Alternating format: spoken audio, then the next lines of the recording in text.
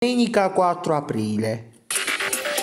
Operazione della polizia e della magistratura su tangenti e appalti al Santo Bono, raffica di arresti e perquisizioni a Napoli. La Polizia di Stato di Napoli ha eseguito questa mattina un'ordinanza di custodia cautelare emessa dal GIP del Tribunale di Napoli su richiesta della locale direzione distrettuale antimafia a carico di amministratori di strutture pubbliche partenopee, legali rappresentanti di imprese e imprenditori ritenuti responsabili a vario titolo dei reati di corruzione, turbata violata libertà degli incanti, tentata estorsione aggravata dal metodo mafioso. L'inchiesta è condotta dai PM Woodcock, Carrano e Parascandolo. Oggetto delle indagini e degli approfondimenti investigativi svolti, appalti presso l'azienda ospedaliera di rilievo nazionale Santo Bono Pausilipon e appalti presso l'azienda regionale per il diritto allo studio universitario.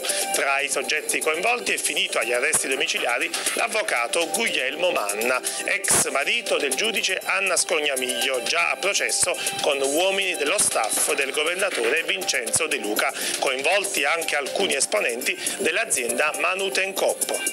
Indagini dei carabinieri sull'agguato consumato ieri pomeriggio nel napoletano a Giuliano. Un uomo di 50 anni, Michele Lorenzetti, già noto alle forze dell'ordine, è stato ucciso a colpi di pistola a Varcaturo. La vittima, è stato accertato, non aveva legami con le organizzazioni malavitose. Secondo quanto ricostruito dai carabinieri della locale compagnia, l'uomo era a bordo della sua auto ferma a ridosso di un hotel della zona quando è stato raggiunto da alcune persone che hanno fatto fuoco e poi si sono allontanate. I carabinieri stanno lavorando per ricostruire la dinamica dell'agguato e gli ultimi movimenti della vittima.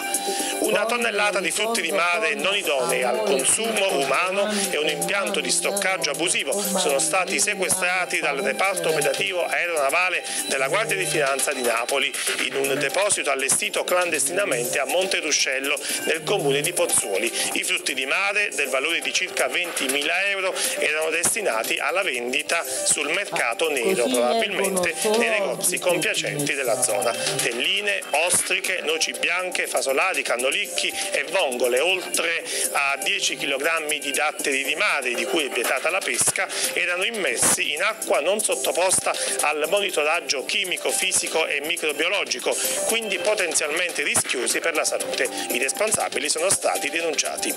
Sette minori di età compresa tra i 14 e i 16 anni sono stati denunciati per danneggiamento aggravato di edificio pubblico. I giovani hanno compiuto la notte scorsa atti vandalici all'interno della palestra dell'istituto scolastico Marconi di Atena Lucana in provincia di Salerno. I sette, con il volto parzialmente coperto, dopo aver forzato la porta d'ingresso della struttura sportiva, hanno imbrattato utilizzando la schiuma di alcuni estintori in dotazione alla stessa struttura i muri, gli arredi e le attrezzature sportive provocando danni per alcune migliaia di euro. I carabinieri della compagnia di Sala Consilina a seguito di accurati accertamenti hanno individuato i sette ragazzi, tutti incensurati, che sono stati segnalati alla procura per i minorenni.